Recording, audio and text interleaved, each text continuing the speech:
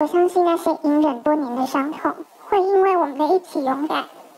终而慢慢的被疗愈，一字一句都坚强的让人心疼。镜头前首度揭开二十年前遭补教的老师性骚伤疤，即使已经过了法律追诉期，但也决定不忍了。社会的角落，还有太多的房思琪的初恋乐园，作者林奕涵，太多这样的伤心事。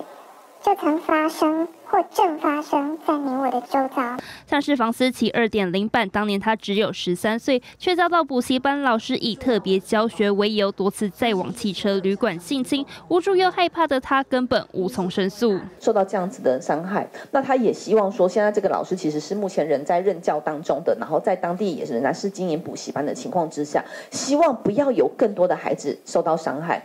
被指控的王姓老师已经结婚，还有两个小孩，在补教业超过二十年，专长是数学以及理化。遭爆料前依旧在业界任教，也经常在脸书晒出一家大小出游合照，塑造出爱家好形象。私底下却是如此不堪。但这都不是他的错，错的都是那个做下犯罪行为的一个。被害呃加害者，就是说我们那一天是当天晚上窒息的，隔天就已经全部都是自律暂停营业。对此，高雄市教育局表示，上周接获消息后，已经要求补习班停业。记者实际达到补习班，也无人回应。虽然案件已经过了二十多年，但被害人的伤恐怕难以抚平。进新闻实业委张建采访报道。